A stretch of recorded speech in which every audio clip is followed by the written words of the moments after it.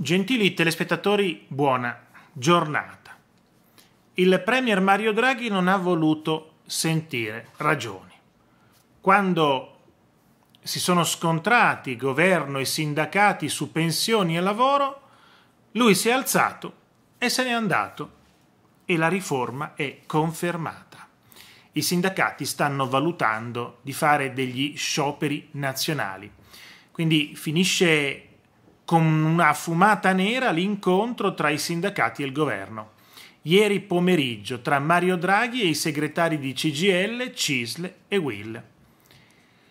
Tensione e qualche alzata di voce al centro di quello che via via è diventato uno scontro, la manovra economica attesa per il via libera in Consiglio dei Ministri già domani.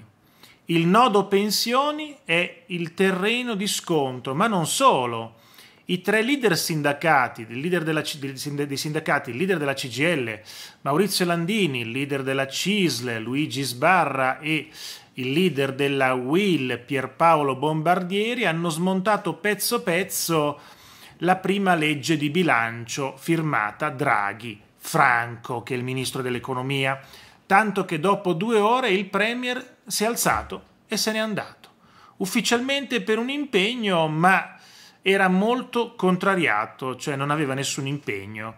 Ha detto non mi interessa più continuare, si è alzato e se n'è andato.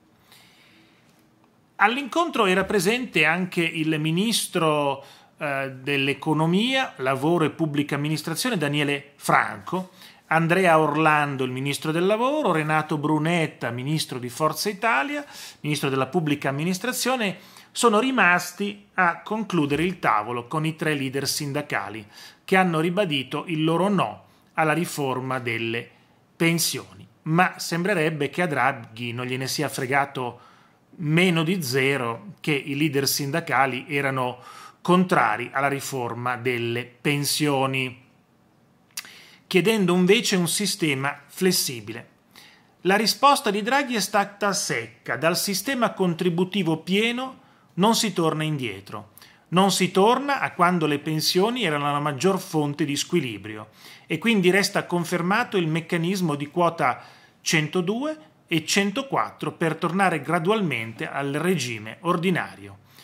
I sindacati apprezzano il prolungamento di opzione donna e dell'appe sociale per i lavori gravosi, ma contestano il ritorno alle quote che finirà per concludersi con il ritorno alla pensione ai 67 di età, anni di età per tutti. Ma i no alla manovra sono anche per le risorse largamente insufficienti destinate alle pensioni.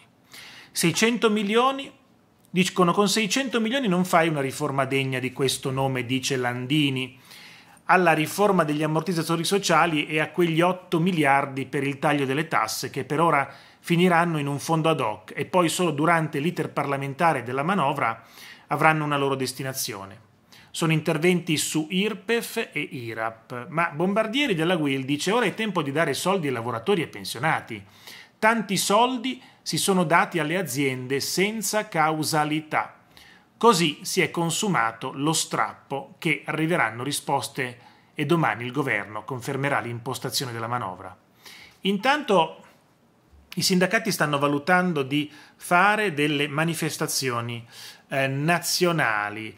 Lo sciopero è lontano per ora, ma visto che non ci sono stati accordi, non si è stabilito un proseguo del confronto, ecco, i sindacati chiedono una risposta al eh, governo, ma il governo, da quello che si è capito, non valuta nessuna risposta perché dicono noi non siamo tenuti a rispondere a nessuno.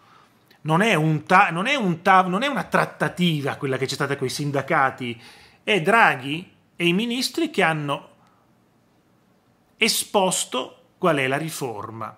Che poi ai sindacati piaccia o non piaccia, al governo non gliene frega assolutamente nulla. Avete già visto che a Draghi non frega assolutamente nulla né dei politici né dei eh, sindacati. Lui ha dei suoi obiettivi e va avanti. C'è da dire una cosa. Ieri sera stavo guardando un programma dove si parlava di pensioni.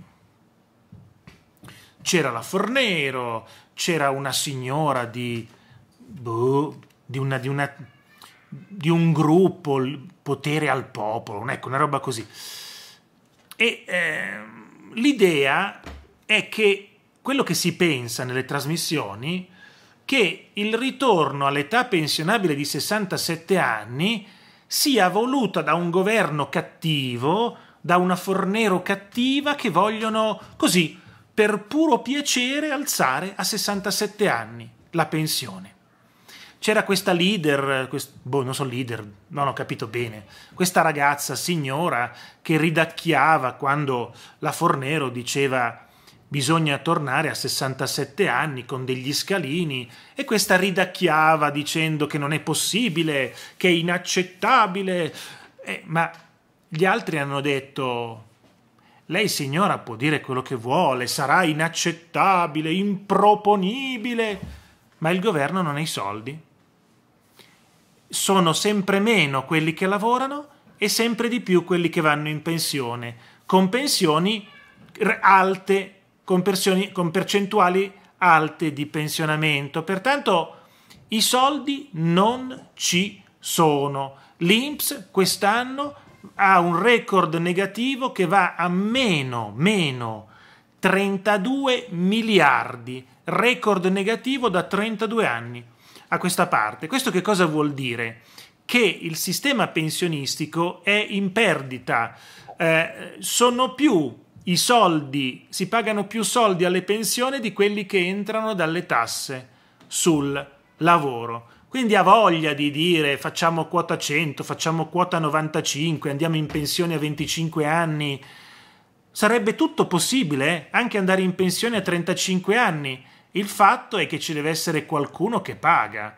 Lo Stato dovrebbe essere in superattivo, invece i soldi non ci sono. Anche perché lo Stato non ha solo le pensioni, ha il, la, la classica disoccupazione per quelli che perdono il lavoro e poi c'è la pensione di cittadinanza, il reddito di cittadinanza 9 miliardi, ci sono, guardate che ci sono oltre 3 milioni, 3 milioni, cos'era 3 milioni 800 persone che prendono il reddito di cittadinanza, cioè sono 3 milioni 800 mila persone che sono a carico di chi paga le tasse. Lo Stato non può permettersi di mantenere tutti, di fare l'ape di qui, l'ape di là e dai soldi di qui, dai soldi di là, quando quelli che pagano le tasse sono sempre di meno, cioè ci sono sempre meno persone che lavorano. Quindi non bisogna demonizzare perché l'età pensionabile torna a 67 anni. Facile dire No, eh, sono capace anch'io a dire no, no, eh, facciamo non 62 anni in pensione, facciamo a 59, bravo. Complimenti al professore, lui sì che è uno vero. Sì, ma i soldi poi chi ce li mette? Babbo Natale. Quindi è facile fare eh, no? gli sbruffoni, eh, andiamo in pensione a 49 anni, eh? bravo, facciamolo presidente del mondo. Ma se i soldi non ci sono, è inutile sbraitare tanto, se i soldi non ci sono, non ci sono. Che poi li abbiano buttati in mille cose o che li buttino in mille cose è un'altra cosa. Il dato di fatto è che i soldi per lasciare l'età pensionabile a 62 anni non ci sono. Allora, volete, volete, andare a vedere dove sono questi soldi buttati perché non ci sono? Questo è un altro capitolo. Noi stiamo valutando la prima parte. I soldi non ci sono, non si può abbassare l'età pensionabile. Poi se qualcuno riuscirà a trovare questi soldi è un altro capitolo, lo vedremo più avanti. Arrivederci a tutti e grazie.